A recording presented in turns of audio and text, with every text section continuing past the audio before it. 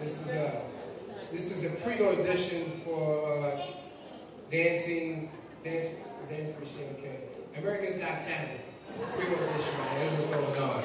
But for now, you know, we're gonna do it. Dancing machine.